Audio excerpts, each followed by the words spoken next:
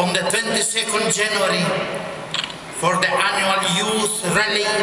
and mass for life held in conjunction with the National March for Life. The Holy Father sees a radiant sign of hope for the future in the yearly witness to the gospel of life. Is deeply grateful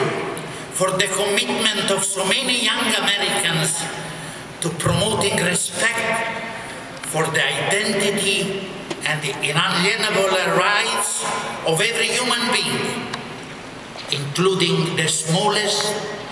and most defenseless member, members of our human family. As His Holiness looked forward to his visit to the United States in April,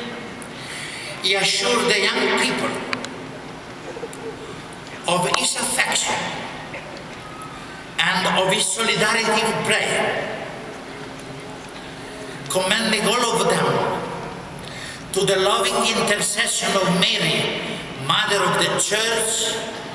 he willingly imparts his apostolic blessing as a pledge of joy